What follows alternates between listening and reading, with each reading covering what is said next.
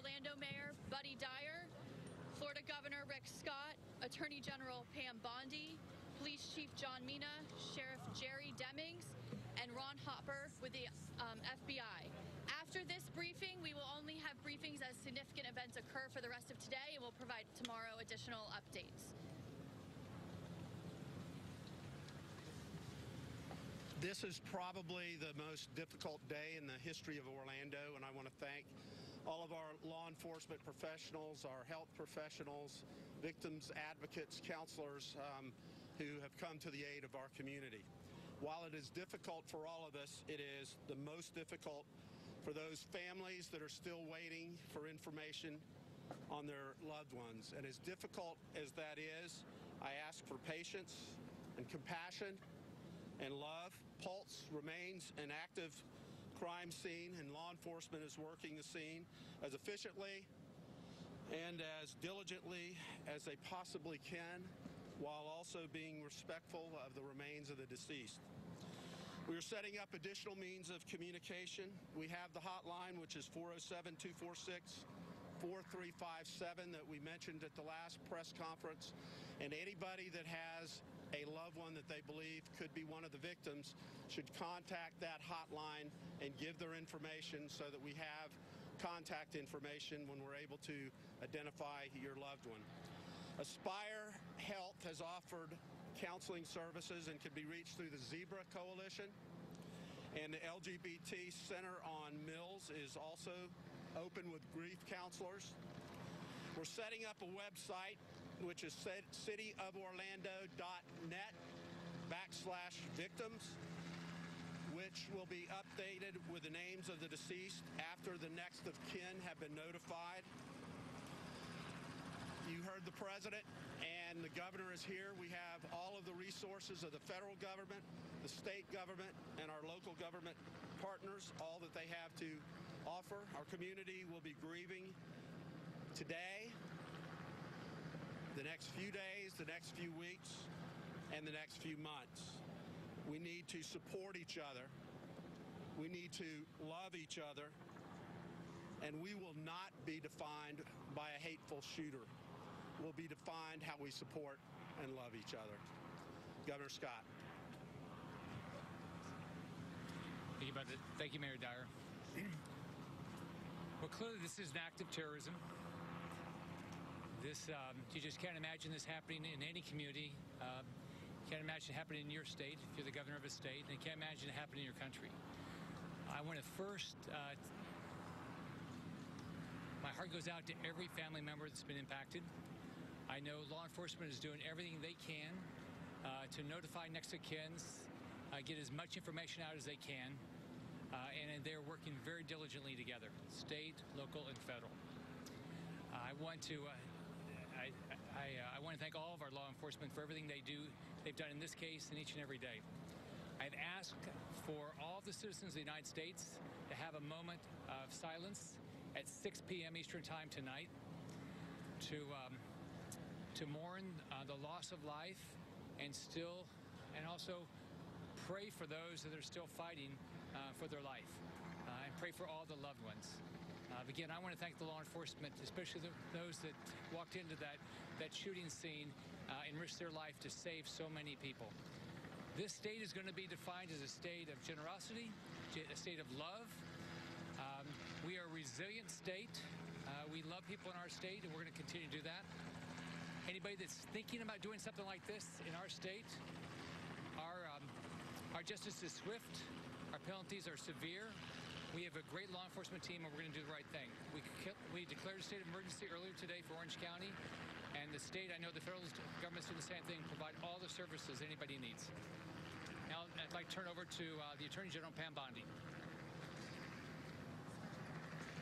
Today is a tragic day and we are making it clear anyone who attacks our LGBT community, anyone who attacks anyone in our state will be gone after with, to the fullest extent of the law. Today, my office has been working. We've been bringing in victims advocates from throughout the state of Florida here to Orlando. So if you're missing a family member, a loved one, we will be here to help you. Um, you're hearing on a horrible, tragic, violent day the word love. And that's what we need to continue to do. We need to look out for each other. We need to take care of each other.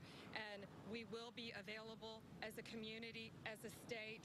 And I, we've all received calls from around the country of people offering their support in this horrible, horrible time.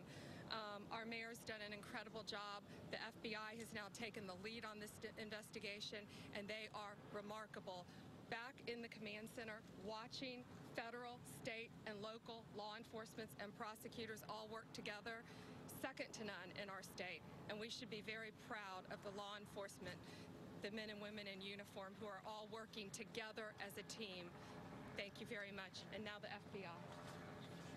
Sorry, our police chief. Good afternoon. Just to clarify, we had 11 Orlando police officers uh, that exchanged gunfire with the suspect and killed him. Uh, they have all been relieved of duty, as is our standard practice. The Florida Department of Law Enforcement will investigate the officer involved shooting portion of that, and we will release their names um, over the next couple of days. We want the citizens and residents and visitors of Orlando to know that we are committed to their safety. Our officers put themselves in harm's way and risk their lives for the people and patrons at Pulse, and we are committed to so again. So at this time, we're going to uh, continue with the investigation, assist the FBI. Our focus is on helping with the identification and next of kin. We're setting up a system uh, for that as well. I also want to take this opportunity to thank all of uh, the outpouring of support, not only from local law enforcement. Uh, you know, we've had uh, multiple sheriffs from different counties uh, respond, uh, different police chiefs. Everyone in Central Florida has reached out to us. But also, I want to thank the uh, businesses in this area. They have all stepped forward to assist uh, law enforcement with food, with water. Uh, so uh, we really do appreciate that. Thank you. Just going to provide a, a brief update as well. This has certainly been a trying day. As you can see, as the day has grown, the level of support in our community has grown as well. And so I sincerely appreciate uh, the broad support that we're receiving. We still have a lot of work to do yet in this investigation.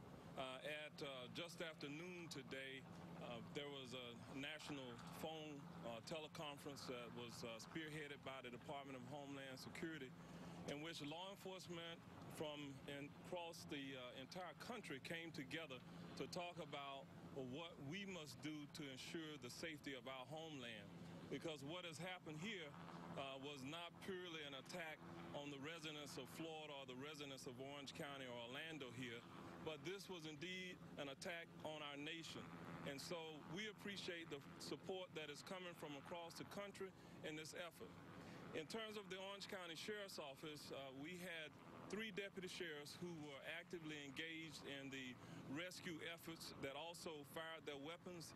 They too have been uh, relieved of the law enforcement uh, authority pending an investigation.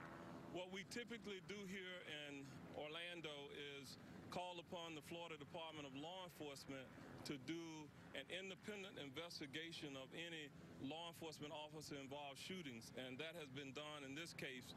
And so they will be doing their investigation concurrently with that uh, of the uh, FBI. Uh, thank you again.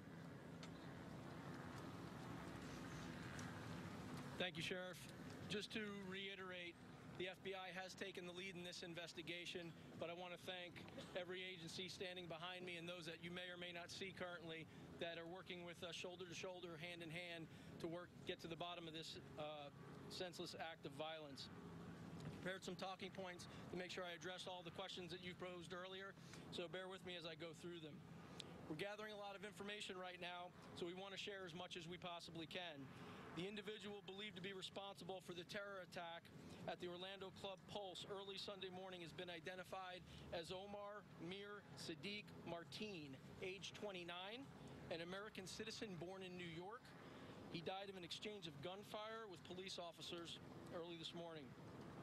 The FBI first became aware of Mateen in 2013 when he made inflammatory comments to coworkers alleging possible terrorist ties.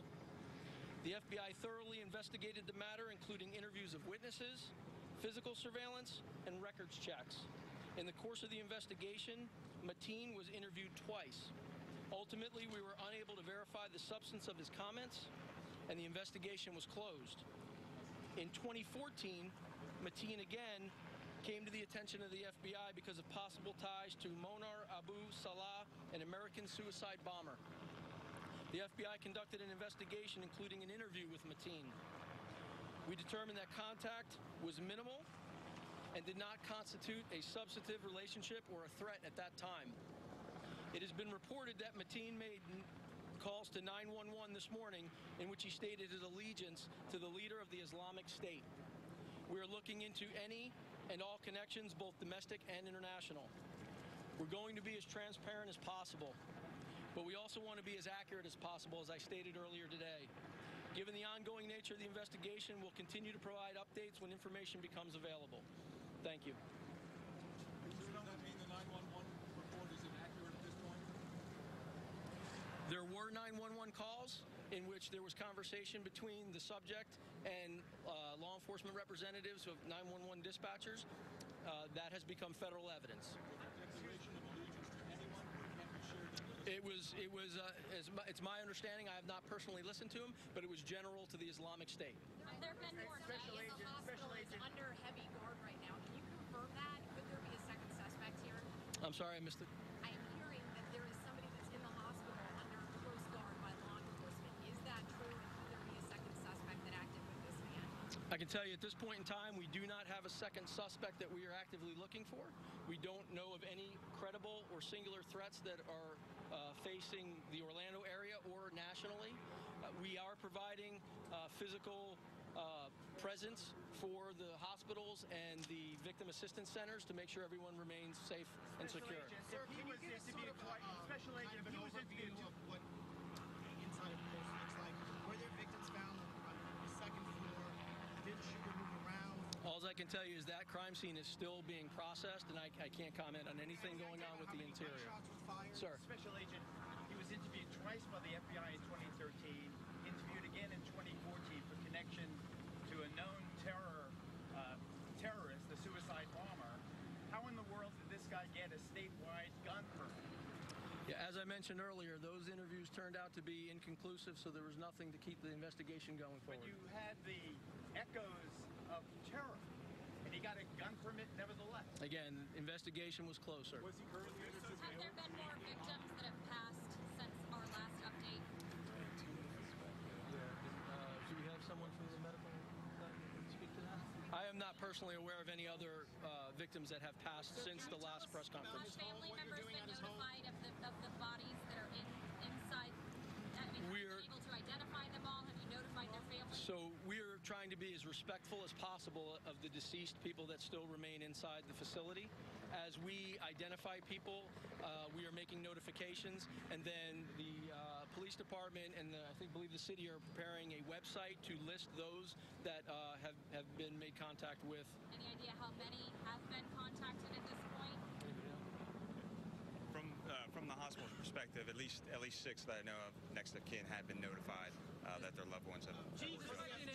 Chief, you know there's danger inside of this club still for, for your agents and the FBI and, and the people investigating this crime? Is there still No. potential for danger in there? No, the scene the scene is clear, uh, but like uh, especially uh, Hopper said, uh, there's a lot of victims inside trying to be respectful for of that as well, and it's just gonna it's just gonna take time. We ask that people have patience. The shooter suspect on FBI.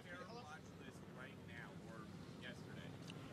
The, sub, the subject that I mentioned earlier was not under current investigation at the time of this incident and was not under surveillance. Can you tell us what his family, you guys have interviewed his family, I assume. Is there anything you can tell us about those interviews? All I can tell you is that multiple uh, interviews are being conducted as we speak. I have no details as to how far that's what gone at this his point in time. You guys are at his home. Is there, can you tell us what you're doing at the home? Uh, interviews and investigation, yes, sir. We're going to take two more questions. Any word, word on where he got the weapons from? Has ATF been able to trace him yet? Is ATF here? Yes, our partners with, from ATF are here to speak to that. Hi, good day. I'm Trevor Velinor. I'm the Assistant Special Agent in charge of ATF. And first, I'd just start by saying that our condolence goes out to the family of those who've been impacted. Yes, ATF has traced those firearms. Um, we know that this individual did purchase at least two firearms. He is not a prohibited person, so he can legally walk into a gun dealership and acquire and purchase firearms. He did so, and he did so within the last week or so. And um, Thus far, we're following up on that, so I'm not going to get into the detail as to the specific location of the purchase, but he did purchase two firearms, a handgun, and a long gun within the last few days. What was the suspect wearing? That's all the information we can release at this time. We'll provide you more updates as they become available. And, Thank you. and how long next to kin notification is going to take? We're doing it as quickly as And possible. is there going to be security updated at different clubs now, especially in the LGBT? We don't believe there's any threats right now, so. As you see there, the conclusion of the latest update from not only law enforcement personnel, which includes